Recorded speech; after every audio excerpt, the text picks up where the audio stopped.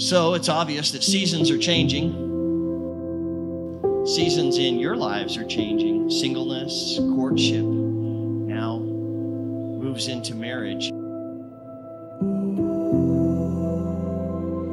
know, of the watershed events in each of our lives, our wedding days always included to be one in your lives literally change.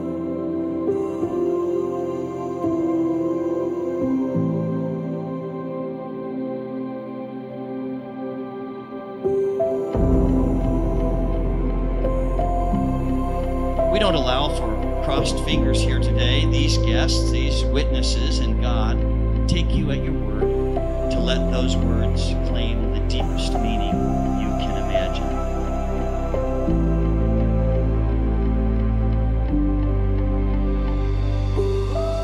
Marcus, will you have this woman to be your wedded wife?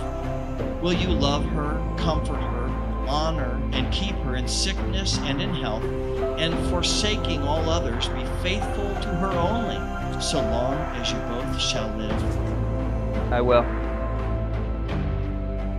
Nicole, will you have this man to be your wedded husband? Will you love him, comfort him, honor, and keep him in sickness and in health, and forsaking all others, be faithful to him only, so long as you both shall live?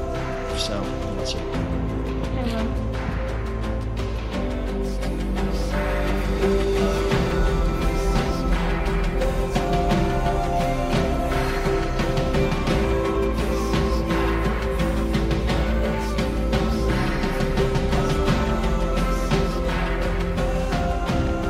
Mark, I give you this ring, in token and in pledge of my constant abiding love.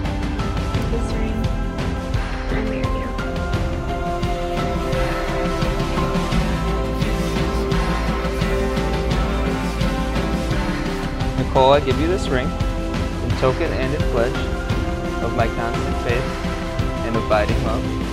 With this ring, I marry you.